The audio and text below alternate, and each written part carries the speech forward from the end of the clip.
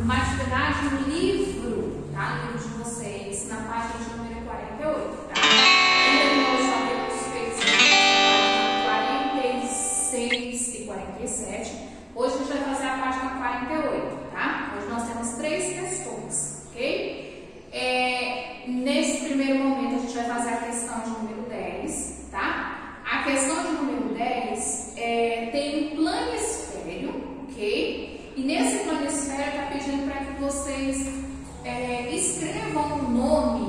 dos continentes e o nome dos oceanos, né? Que formam o nosso planeta, né? No caso, vocês vão nomear a, a parte que é chamada de terras emersas e a parte que é chamada de terras imersas, ok? Lembrando, quando a gente está é, falando dos continentes, nós temos um total de quê? De seis continentes. Vocês lembram quais são os nomes desses continentes?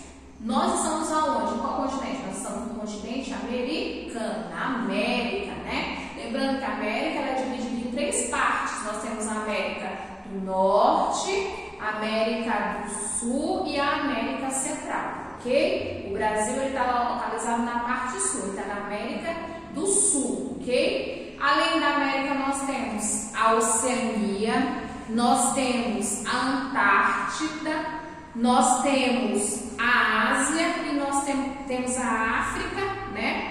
E a Europa. Então vamos recapitular: América, Oceania, Ásia, África, é, Europa e Antártida total de seis continentes. E os oceanos, nós temos os oceanos, que é chamado de oceano principal, que é o Oceano Atlântico, né, que é o que é usado mais na navegação. Nós temos o Oceano é, Pacífico, que é o maior em tamanho, né, em extensão. Nós temos o Oceano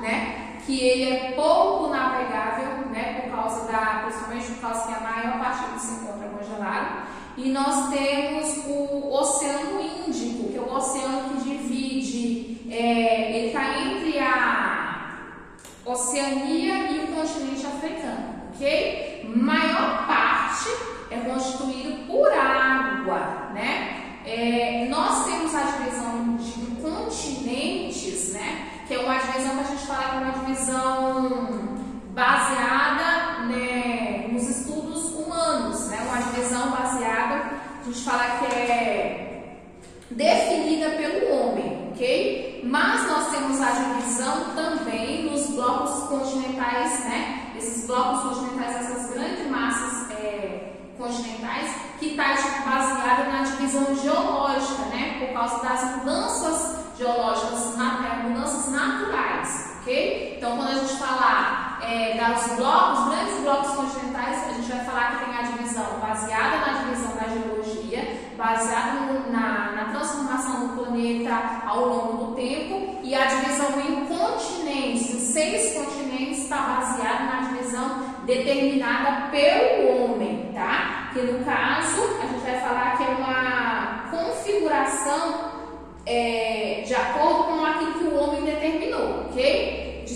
estudos em geral, ok? Já os oceanos, né, que compõem a maior parte, a gente fala que tem esses quatro oceanos principais, ok? Então, vamos lá para a atividade.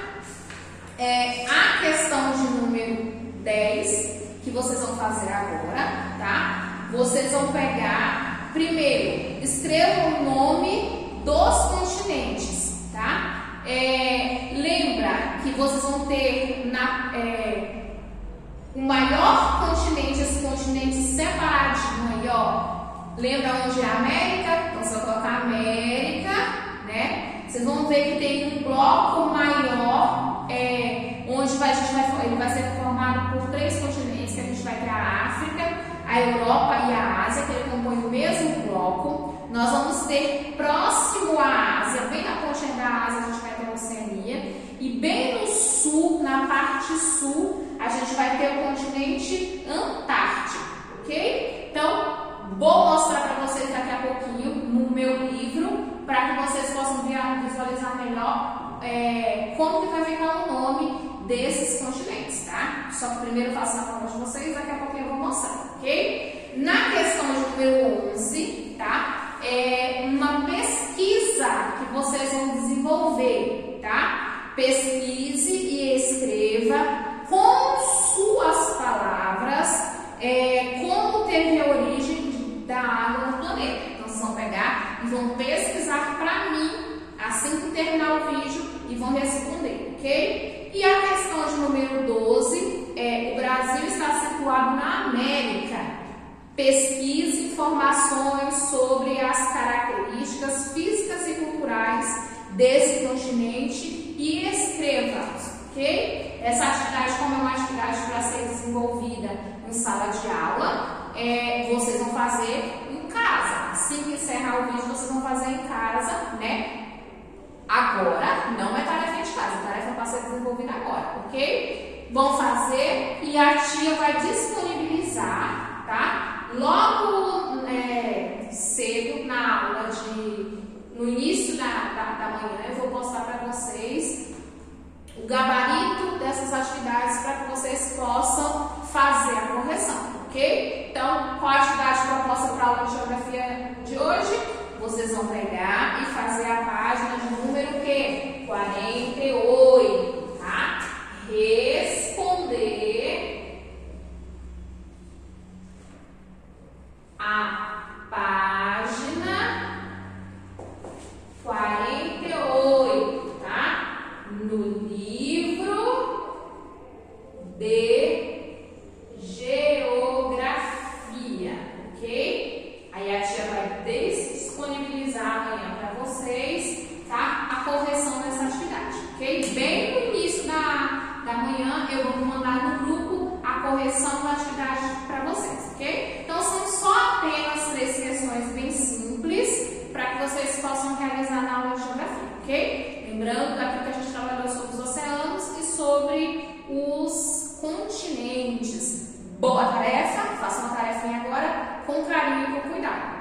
A pesquisa, tá, gente, na questão de número 11 e de número 12, não precisa ser uma pesquisa extensa, não, tá? Principalmente número 12. Quando você falar das características físicas, você vai falar do clima, você vai falar do relevo, você vai falar é, da vegetação, tá? Do continente americano. E quando você falar dos aspectos culturais, você vai falar da língua, dos costumes desse, desse continente, ok? Então, façam com carinho e até amanhã com a correção da atividade.